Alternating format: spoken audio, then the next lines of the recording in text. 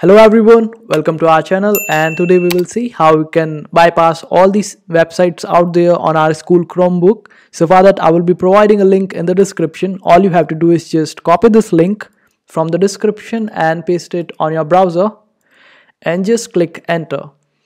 This will lead us to a proxy server and that proxy server will help us open up even the blocked websites. So after opening it up, just search for the blocked website support suppose I want to open up discord over here. Just I will type the discord and click enter.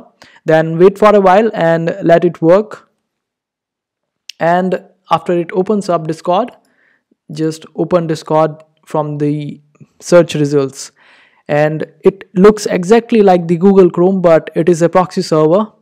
And it might take a little while opening up discord or any other thing that we are searching over here because it is a proxy server and proxy servers are usually slower than our Wi-Fi's speed and it has opened up Discord for us and that's how we do it.